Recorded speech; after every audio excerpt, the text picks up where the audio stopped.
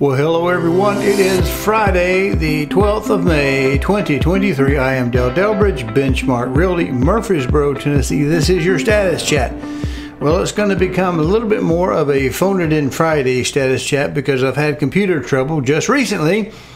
I've replaced my old multifunction machine, which is a brother. I don't do a lot of printing at the house, and it's my second one.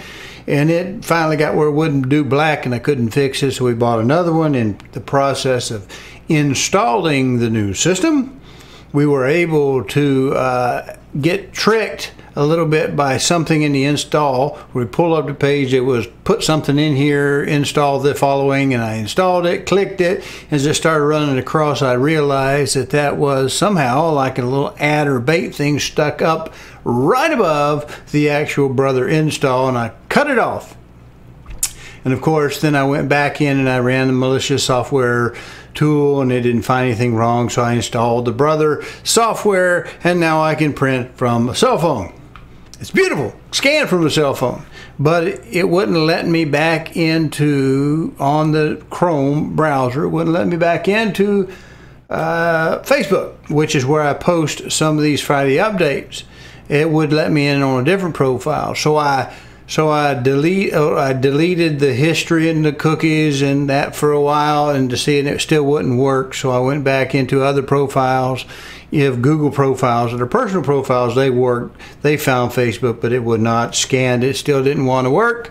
I even I eventually deleted Chrome entirely and reinstalled it with, of course, no history. Still wouldn't work. So I ended up having to go back in, uh, make sure that uh, the sync was turned off go in there and actually delete the Google profile, the Gmail profile from this computer, this browser, and then turn it back on.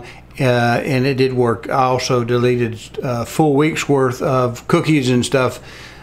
That seemed to fix it. So that's put us behind already in the production today. So today we'll get to our middle segment. If you like this content, please go to calldeltosell.com, find the tab that says on YouTube, click it, and it'll open up a page of QR codes. There you can use a smartphone to scan and get to the YouTube page, or you can just mouse over and click it on a PC.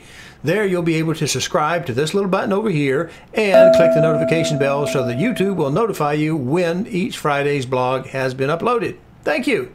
Welcome to the middle segment. Today we're just going to pop up one story because I'm sure you've heard if you've been following me the FHFA's uh, leadership is quite progressive. I think I can say that being politically correct. And they came up with an idea to cover the risk that she is adding into the FHFA, into the Freddie Mac and Fannie Mae system by her policies that uh, nobody voted for and were not put into place by someone who was elected by we the people. She just decided she's going to do it and nobody's stopping her, and she is. So she came out out with this program where she's going to take from the good people who have good credit and good incomes to debt ratio and all the other things that make them good for a loan, and we're going to charge them more money at a higher interest rate, we're going to collect from them to fund the bad, the potentially bad, the certainly high risk loans that she, by her policy, has put into place.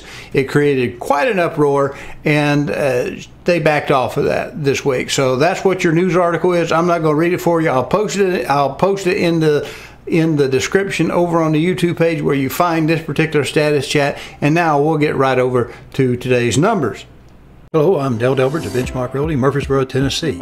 If you are currently unrepresented and would like to know how to compare up to three properties side by side and room by room, then go over to my new YouTube channel. Call Del to sell. That's one L and Del, no spaces. Watch the demo on RealScout, and then call me and we'll set up your exclusive ad-free account today.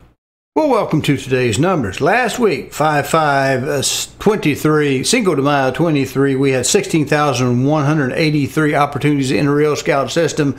That was down over the previous period. We had 4357 in the under contracts still showing that was up over the previous period, but the ratio, integer level ratio between those two numbers remained the same at 27.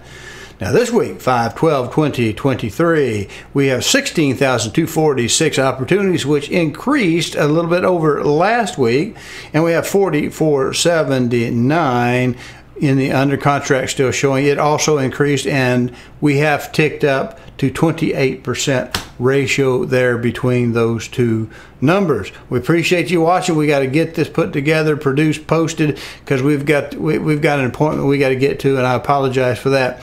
But uh, yes, if your if your uh, browser accidentally gets something loaded into it, cut it off as soon as possible. Do your scans, but you may actually have to pause sync on your Google profile if you're using Gmail for any kind of thing go ahead and then delete that account, reestablish it, and then you'll have to resync it back up. There we go. Appreciate you watching.